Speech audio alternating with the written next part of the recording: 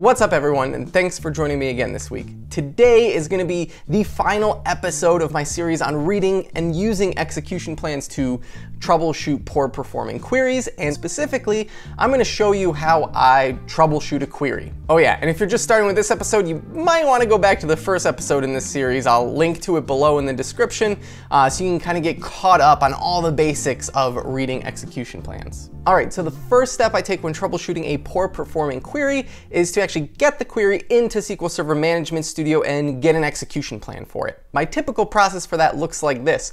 I'll take the query and I, I paste it in my window and I actually open up a second query window with the same exact query in it. Um, and let's just make sure I'm looking at my right database is perfect. And so what I'll do is in this first window, I will get my estimated execution plan. And in this second window, I actually typically open it as a new vertical tab group and choose my actual execution plan and hit execute there.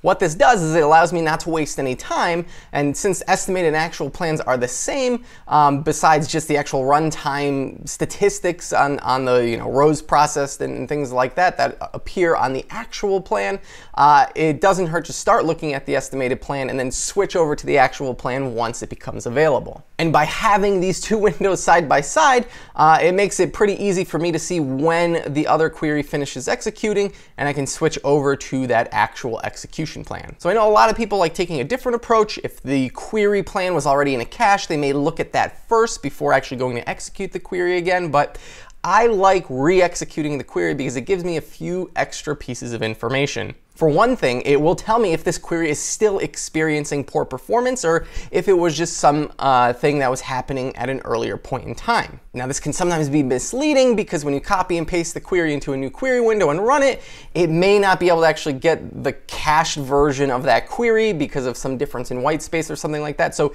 it's just something you need to be aware of, right? If you re-execute the query and it runs instantly, uh, it, that doesn't mean your problem is solved and you need to ignore it. It's just it's that, oh, okay, well, it didn't pull the plan from cache maybe, and I do need to go look at that cache plan, or maybe, right, there's a parameter sniffing issue with, with my plan that's in cache, and so, uh, you know, then I go investigating down that route. But I like rerunning the query for that purpose, and I also like rerunning the query, especially if it's sent to me, you know, from someone else, from one of my colleagues. It's not that I don't trust them when they tell me that, hey, this query is running poorly or something like that, but I just want to verify it for myself, right? Trust but verify.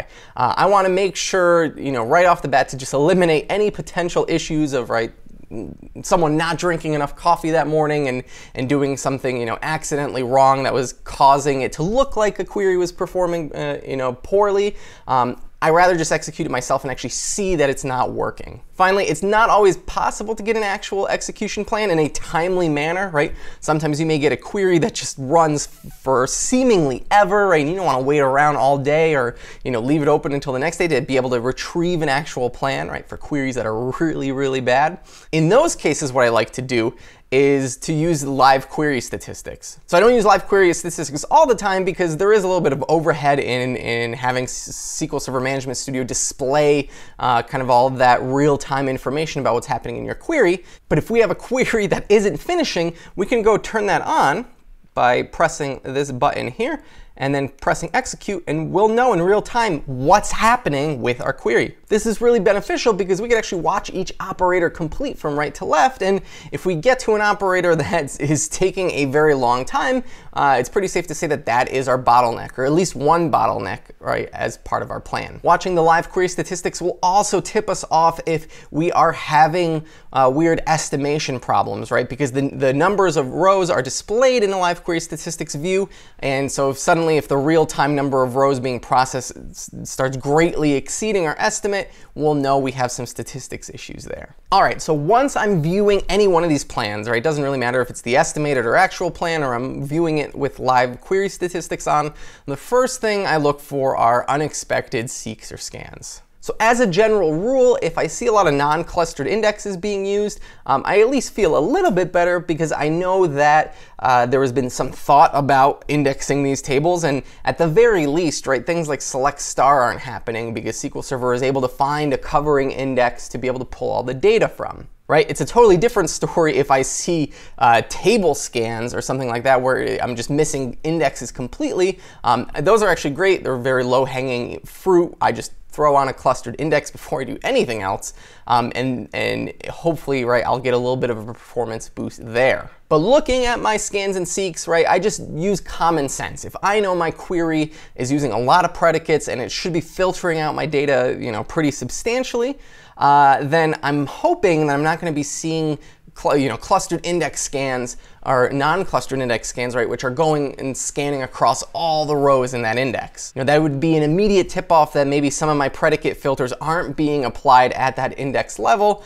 um, and it's probably something I want to revisit. And I take a closer look at index seeks as well, right? One common pattern you may see is something like a non-clustered index seek that then goes and does a lookup in our clustered index because that original non-clustered index doesn't have all the information, all the columns that our query is requesting of it. And this key lookup pattern, once again, isn't necessarily always a bad thing, uh, but it does represent an opportunity for being able to do something simple, like maybe just add one more column uh, to our non-clustered index, and SQL Server will be able to avoid that uh, you know, ex fairly expensive key lookup uh, process altogether. And really looking at all these seeks and scans is a pretty quick pass. I'm trying to figure out is, is there inefficiency in the very first step of where SQL Server is retrieving that data. All right, the next thing I typically look for are inaccuracies in row estimates. And so I won't go through every operator necessarily to check this, but I'll look for a couple key things like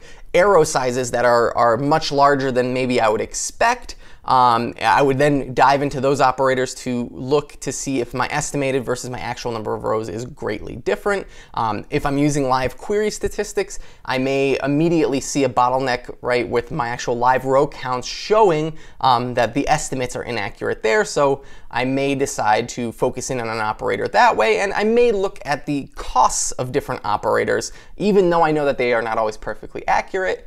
Um, taking a look at those costs can somehow sometimes also help you track down where you are having these inaccuracies between estimated numbers of rows and the actual number of rows the SQL Server is processing. So if I do find an operator that is just totally estimating the wrong number of rows um, by like a factor of 100, um, right? So if, if I have an estimate of 100 rows and is, SQL Server is actually returning 10,000 rows, right, 100 times more rows, uh, that is cause for concern, right? If the estimated and actual numbers are pretty close, I don't worry about it, but if it's more than 100 uh, times greater, it usually means that there's some room for improvement with helping SQL Server improve its estimates. And it's important to kind of capture those, uh, like I mentioned in one of the previous videos I did in this series, right? If the statistics are totally wrong on the table and SQL Server is throwing out these crazy estimates that are inaccurate, your query is only going to get worse the further and further it goes down the execution plan because once an estimate, right, is wrong and SQL Server,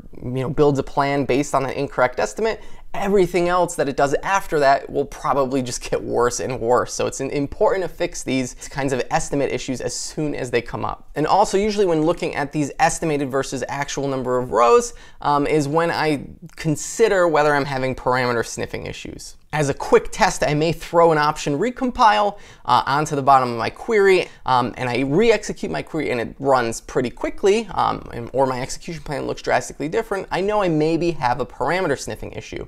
At that point, right, I, the plan in the cache was built based on one value being passed into a certain predicate.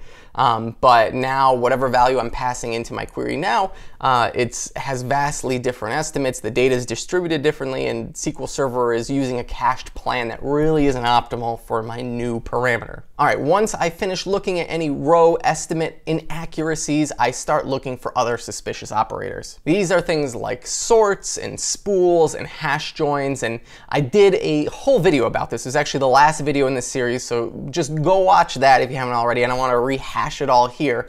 Um, but I, I do keep my eyes open for these operators that typically, you know, I find give me trouble in slow performing queries. And so if I see them, I'll go investigate them further and see if there's anything I need to do.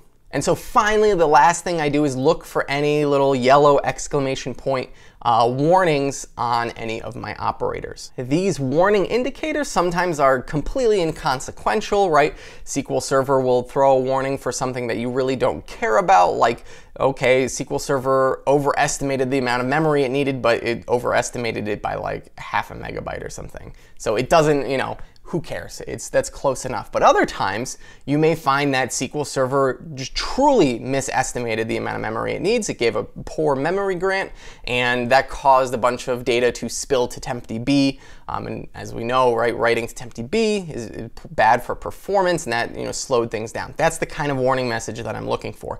Another type of warning that typically causes me to act in some way is seeing something like an implicit conversion warning, which is preventing SQL Server from doing an index seek and just going directly to the data it needs, right? It's causing SQL Server to scan the data, which is slow and inefficient.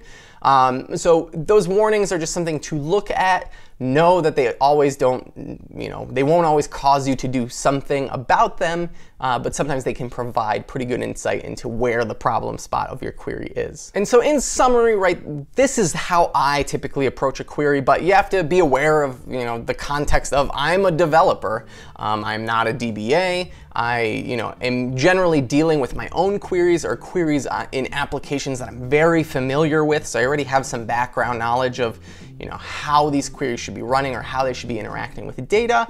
Um, if I definitely was a DBA managing, you know, several different servers with lots of different databases, hosting, you know, different applications I'm not familiar with, I may take a different approach. I may, you know, holistically look at my server and tune queries that way and look at the plans that are in cache first before re-executing any queries because it may not be easy for me to reproduce, you know, a certain scenario.